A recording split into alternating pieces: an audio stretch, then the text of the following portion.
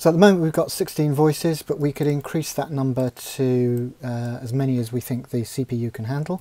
I'm going to put in 100.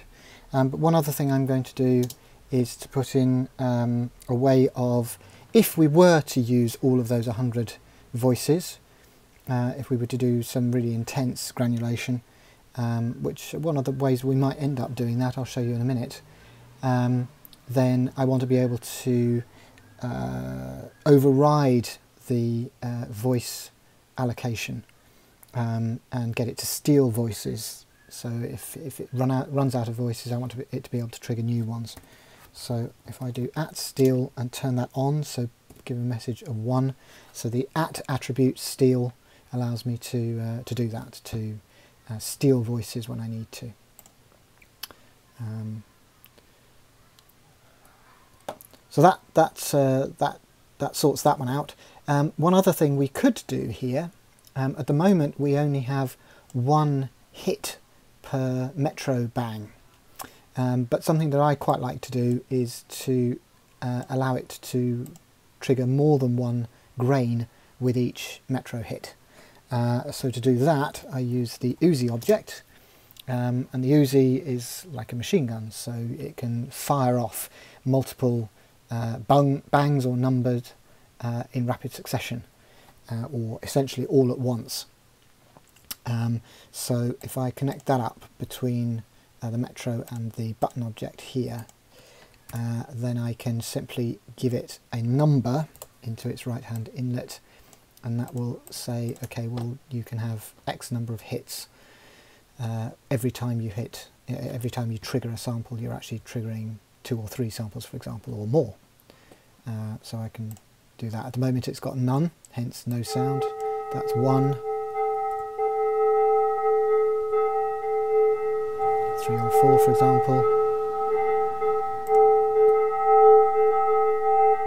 Um, which is more effective if you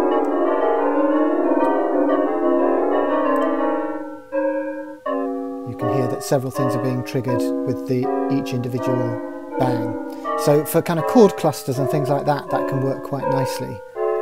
Uh, so if we have everything the same length, um, and say go to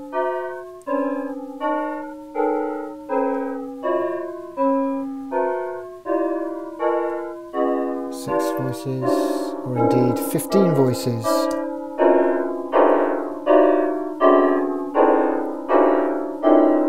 So I've done this kind of thing and then spatialized each one of the items so you get these kind of chord clusters uh, across a spatial array. Anyway, that's quite enough of that. I'll go back to one.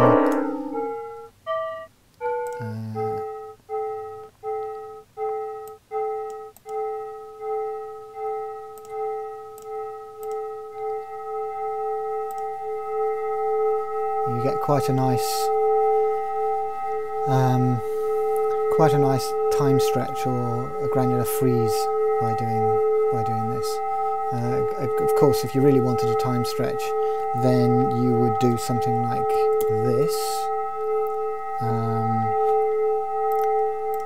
so, say we want it to read from 0 to 30 seconds over, oh, sorry, 0 to 5 seconds, which is the length of the sound file roughly, over 30 seconds.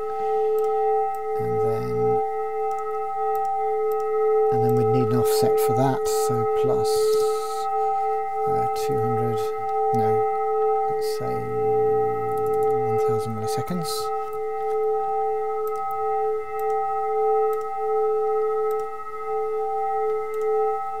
That's correct.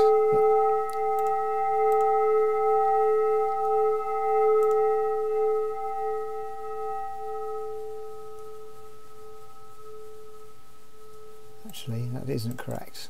Let's try making it only 10 milliseconds between. There we go.